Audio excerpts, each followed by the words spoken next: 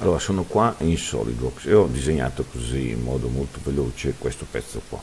Adesso con la barra spaziatrice, ok, vediamo, sono qui, vediamo se parte, perché no, ero sull'altro schermo. Con la barra spaziatrice eh, mi si crea il comando questo orientamento. Ok, dopo io poi scelgo eh, le varie viste da qui, ok, posso anche scegliere. Se poi io metto questo fissa sul dialogo, questo mi rimane qui vediamo un attimo. Ok schiaccio qua. Io questo lo posso fare tutte le viste e questo qua lo tengo qui ok? Posso anche fare così.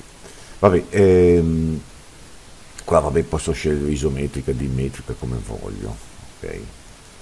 Lasciamo isometrica e eh, vabbè. Naturalmente io mh, mm, posso andare poi a usare il eh, normale A che naturalmente si vede se io continuo a schiacciare normale A mi passa tra eh, la frontale, l'anteriore e la posteriore ok? Vabbè, perché ho scelto quel piano lì eh, però io potrei anche mh, mm, andando qui una volta che tengo in highlight questa faccia ok? Col control vado a tenere anche questa.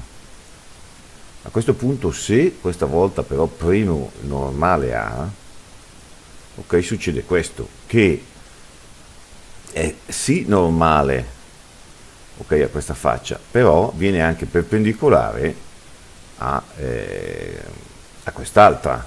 E dunque l'orientamento con diciamo con l'y eh, non con l'orientamento quello de, del iniziale di questo piano ma tenendo presente come diciamo come y perpendicolare, se si può dire così, perpendicolare a questo piano. Dunque è interessante, dunque mi sposto, eh, schiaccio di nuovo il control per eliminare, però tengo questo, perché naturalmente se facessi così normale A, a questo punto mi viene qua normale, dunque, normale.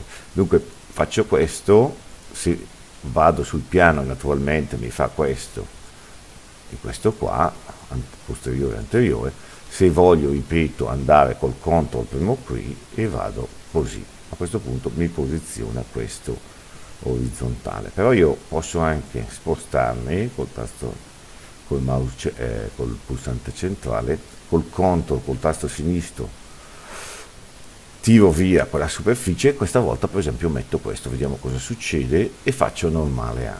A questo punto si posiziona così riproviamo sull'altro andiamo su questo e facciamo normale A. A questo punto fa così contro posiziono qua e faccio normale A. Dunque rimane normale però diciamo la il nostro eh, x diventa per esempio questa linea qua. Ecco quel piano che noi abbiamo, come, che abbiamo selezionato come secondo. Sono curioso di vedere invece se seleziono così cosa succede eh, vediamo, non succede niente.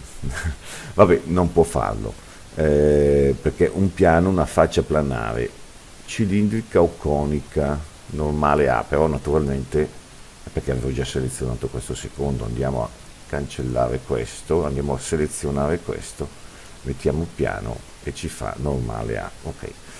Vabbè, spero di essere stato utile, ci vediamo alla prossima, arrivederci.